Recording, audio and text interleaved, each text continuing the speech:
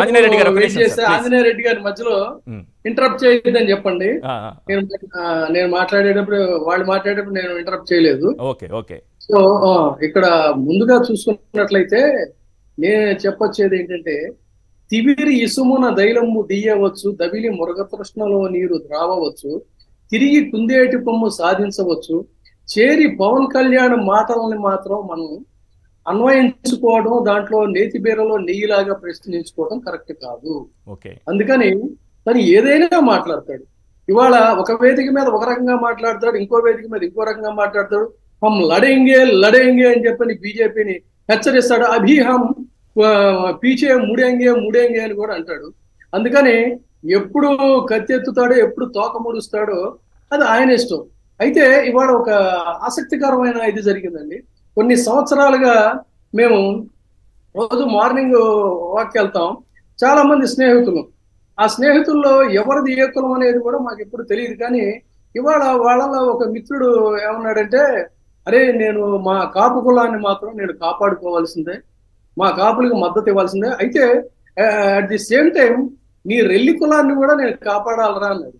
ఆ మిగతా వాళ్ళందరూ విస్తుపోయారు. ఇటు పక్కకి తిరిగి అంటే నువ్వేం కంగారు పడబాకు. నీ బీసీ కులానికి కూడా నేను ఇంపార్టెన్స్ ఇవ్వాల్సిందే అన్నాడు. అటు పక్కకి తిరిగి నీ నీ ఎస్సీ కులానికి కూడా నేను ఇంపార్టెన్స్ ఇస్తాను ఏం అనుకోబాకు అంటే ఇట్లా ఇంతకాలంగా అసలు ఎవరిది ఏ కులమో కూడా తెలియకుండా వాళ్ళందరూ కూడా కలిసి ఉంటున్నారు.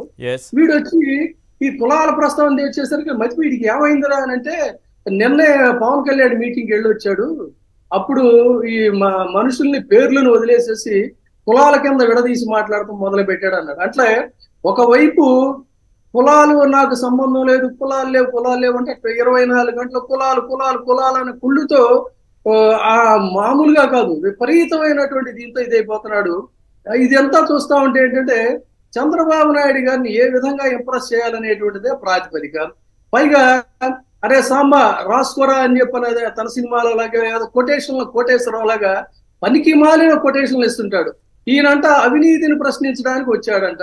అధికారంలో ఎవడున్నా కూడా అదే అవినీతి. అధికారంలో ఉండి ఈ రాష్ట్రాన్ని అడ్డగోలుగా దోచుకు తిని రా- భూముల్ని కేకు ముక్కల్లాగా మింగేసినవాడు ఎవడండి? చంద్రబాబు నాయుడు. బహిరంగంగా చెప్పాడు. ఏది బీజేపీని తిడుతూ బీజేపీ మీద అమిత్ షా మీద సవాల్ విసురుతూ నువ్వేంటి నాకు ఇచ్చేది ఐదు వందల కోట్లు? నా దగ్గర లక్ష కోట్లు ఉన్నాయని చెప్పాడు. లక్ష కోట్లు. రెండెకరాల భూస్వామి రాజకీయాల్లోకి వచ్చి లక్ష కోట్ల రూపాయలు అధికారికంగా ప్రకటించే స్థాయికి ఎదిగినటువంటి చంద్రబాబు నాయుడు అవినీతి పరుడా? లేదు జగన్మోహన్ రెడ్డి గారి ప్రభుత్వంలో మొన్న కూడా డిస్కస్ చేసాం ఏ చిన్న అవినీతి జరిగినా రెడీగా కాచుకొని కూర్చున్నటువంటి గ్రే హౌండ్స్ లాగా ఉన్నటువంటి తమ అనుకూల మీడియా ఓతద్దాలు వేసుకొని చూస్తున్నారు. కానీ ఎక్కడా కూడా అవకాశం లేదు. అయినా కూడా వేగ్గా అవినీతి ప్రభుత్వం ఏ ఎక్కడ అవినీతి జరిగిందో చెప్పనండి. చంద్రబాబు నాయుడు ప్రభుత్వంలో నేను చెప్తా ఎక్కడ అవినీతి జరిగింది? కేంద్ర ప్రభుత్వ నిధులైనటువంటి నీరు చెట్టులో శుభ్రంగా మింగేశారు. అమరావతి భూముల్లో అంతర్గతమైన భూముల్లో మింగేశారు. అవుట్ సైడ్ భూముల్లో మింగేశారు. ఉమ్, ఇళ్ళ నిర్మాణాల్లో మింగేశారు. సాక్షాత్తు మోడీ గారు చెప్పినట్టు పోలవరాన్ని ఏటీఎం గా మార్చుకున్నారు. విదేశీ పర్యటనల పేరుతో మొత్తం అంతా కుమ్మేసేశారు. చేసి వెళ్ళిపోయేటప్పుడు ఏంటంటే మొత్తం ఒక చిల్లి బొచ్చి ఇక్కడ ఇచ్చి పంపిస్తే ఈ ఇప్పుడున్నటువంటి ప్రభుత్వానికి దాని మీద ఆ- వాళ్ళ అనుకూల మీడియానే ప్రచురించింది. నెక్స్ట్ మంత్ జీతాలు కూడా లేనటువంటి పరిస్థితి అని చెప్పి నామాల రామకృష్ణుడే మాట్లాడాడు.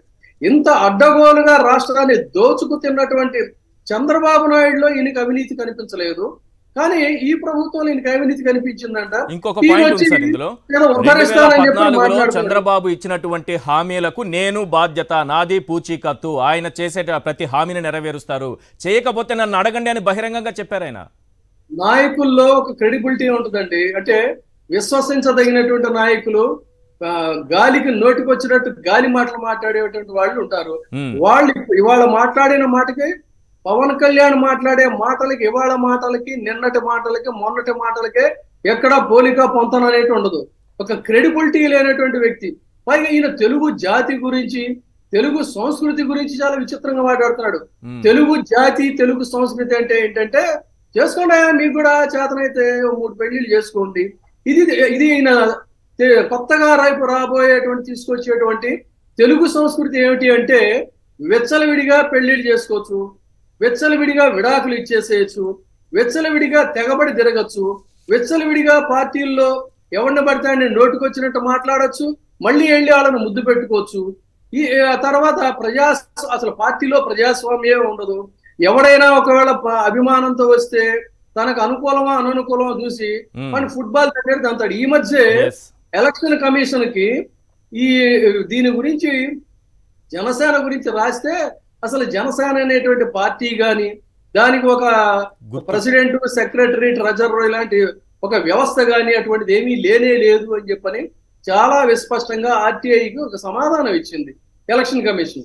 ఆ పార్టీలో జనరల్ సెక్రటరీ ఎవడో తెలియదు ట్రెజరర్ ఎవడో తెలియదు తర్వాత ఒక ప్రొసీజర్ కనుక ఉన్నట్లయితే నాగబాబుని తీసుకొచ్చి ప్రధాన కార్యదర్శి ఎటువంటి ఏంటండి ఒక వ్యక్తిని ప్రధాన కార్యదర్శి చేయాలంటే ఆ పార్టీ సమావేశం అవ్వాలి ఆ పార్టీ తీర్మానాలు తీసుకోవాలి.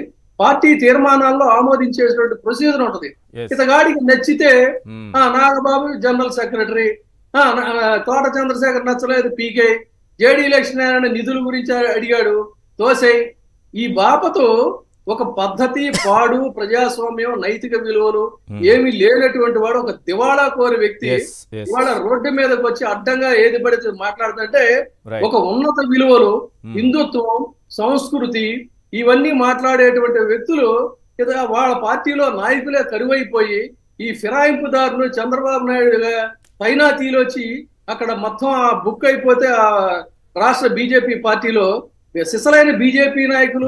సిసలైన ఆర్ఎస్ఎస్ కార్యకర్తలు లేక Hmm. ఒక దివాళా కోరి వ్యక్తిని వీళ్ళు బుధాలకు ఎత్తుకొని ఇప్పుడు ఈ- మార్పు ఎందుకు వచ్చిందంటారు సార్? రెండు వేల పంతొమ్మిదిలో ఏమో నేనే సీఎం అన్నారు. రెండు నెలల క్రితమేమో నాకు అర్హత లేదు మనకంత స్తోమత లేదు మనకెవడిస్తాడయ్యా సీఎం పదవి అన్నారు. ఇప్పుడేమో ఇస్తే తీసుకుంటాను అంటున్నారు. మొన్న సీఎం పదవి ఎవరిస్తారు అన్న నేను తర్వాత పార్టీ నాయకుల్లో కార్యకర్తల్లో అసంతృప్తి ఆగ్రహం.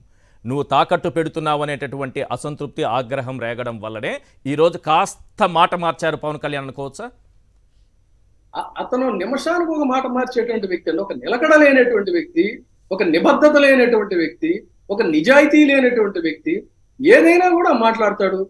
నోటికొచ్చిన మాట ఇంకేదో అంటారు. అలాంటి అటువంటి వ్యక్తి అతను. Hmm. కాబట్టి అతని మాటలను పట్టించేందుకు మీకు సాక్షాత్తు గతంలో ఏం మాట్లాడాడో ఇప్పుడేం మాట్లాడాడో అమరావతి భూముల గురించి ఆ గతంలో ఏం మాట్లాడాడు ఇప్పుడేం మాట్లాడాడు గతంలో ఇతనికి నారా లోకేష్ మీద కోపం వచ్చినప్పుడు బెదిరింపుగా టీడీపీని ఏం తిట్టాడు. తర్వాత ఎలా మార్చాడు? ఈ దగులుపాటి దివాళాకోర రాజకీయాలని తెలిసే కదండి. అతన్ని రెండు చోట్ల కూడా దారుణాతి దారుణంగా ఓడించారు. ఇవాళ తగుదనమ్మా అని చెప్పని తయారైతే ఇంకొకటి ఇక్కడ గమనించాల్సింది ఏంటంటే ఫస్ట్ అంతిమంగా ఫూల్స్ అయిపోయే వాళ్ళు ఏంటంటే అతన్ని నమ్ముకున్నటువంటి ఈ కుర్రజనం వెర్రిజనం. వాళ్ళని తీసుకెళ్ళి చక్కగా హోల్సేల్గా చంద్రబాబు నాయుడు గారికి తాకట్టు పెట్టి భవిష్యత్తు మీ భవిష్యత్తు నాయకుడు లోకేష్ అని చెప్పని చాలా విస్పష్టంగా ప్రకటిస్తాడు. తన తనకు కావాల్సినటువంటి సినిమాల్లో క్యాష్ అండ్ క్యారీ వ్యవస్థ ఆ అధికారంలోకి తేవడం కోసం కాదా? ఆయన బీజేపీతో పొత్తు పెట్టుకుంది. లోకేష్ని సీఎం చేయడానిక? బీజేపీ అసలు ఇప్పుడు ఈ రోజుకి కూడా అతను ముందుగా పొత్తు పెట్టుకుంది టీడీపీతోనండి. ముందుగా డిస్కస్ చేసింది చంద్రబాబు నాయుడుతో. అంతే తప్ప ఒక్క రోజు సోమవీర్రాజు గాళ్ళ ఆత్మవిమర్శ చేసుకొని నిజాయితీగా చెప్పమన్నాడు. ఒక్క రోజు సోమ వీర్రాజు గారికి ఎక్కడైనా విలువిచ్చి ఆ పార్టీ రాష్ట్ర అధ్యక్షుడు అని చెప్పని మర్యాద పూర్వకంగా. కానీ స్నేహపూర్వకంగా కానీ కనీసం సంప్రదాయాలు ఉంటాయి కొన్ని రాజకీయాల్లో. రైట్ సంప్రదాయబద్ధంగా ఉమ్, ఏ రోజైనా వెళ్ళి కూర్చొని పలకరింపటం మాట్లాడటం చేశాడా? హైదరాబాద్ నివాసంగా ఉన్నటువంటి వ్యక్తి ఆంధ్రప్రదేశ్లో ఎటువంటి సంఘటనలు జరిగాయో అలాంటి సంఘటనలే తెలంగాణలో దొరుకుతాయి. ఏ రోజున నోరెత్తి విమర్శించాడా? ఎందుకంటే నిద్రలో కనపడతాడు కేసీఆర్. విమర్శించాలంటే నిద్రలో కూడా కనపడి వణికిపోయేటువంటి హీరోయిజం అయింది. అందుకని ఆ తర్వాత పోని ఆ విషయాన్ని అలా పక్కన పెడితే తెలంగాణ బీజేపీకి ఎప్పుడైనా సరే ఒక- నైతిక మద్దతు కానీ అంటే సాలిడారిటీ అంటాం. ఆ సాలిడారిటీ ప్రకటనలు ఏమన్నా వాళ్ళు చేసిన పనులు కానీ చేశాడా? ఏమీ లేనటువంటి వ్యక్తి ఇంత అడ్డగోలుగా దివాళాకోర రాజకీయాలు చేసి రోడ్డు మీదకి వచ్చి ఏదో మాట్లాడుతూ ఉంటే చెప్పు చూపిస్తా తొక్క తీస్తా తోలు తీస్తా అంటే యువతలోని చేతకానితనం కాదు. అంటే ఏంటంటే సార్ రెచ్చగొట్టి ఈ రాష్ట్రంలో అరాచకం. సృష్టించి ఆ మంటల మీద చలి కాచుకోవాలని పైగా కాపుల గురించి మాట్లాడతాడు ఎంత వెర్రితనం అంటే చ- మొన్నటిగా మొన్న మా ముద్రగడ పద్మనాభం గారి మీద కేసు కొట్టేస్తే నిజంగా ఆయన కాపు అభిమాని అయితే ఒక హర్షం వ్యక్తం చేయాలి కదా ఆయన పరామర్శించకపోవచ్చు. ఆ యువకులందరూ కూడా పాపం జైలు సెక్షన్ నుంచి బయటపడ్డారు ఒక చిన్న అభినందన చెప్పొచ్చు రైట్ రైట్ అదే కాదు? సార్ అంతకుముందు కేసు కొట్టేయడం కాదు ముద్రగడ అంతకు ముందు కుటుంబాన్ని. రోడ్డున పడి కొట్టితే? రోడ్డున పడేసి ముందు- కూడా ఆయన దాడి చేస్తే.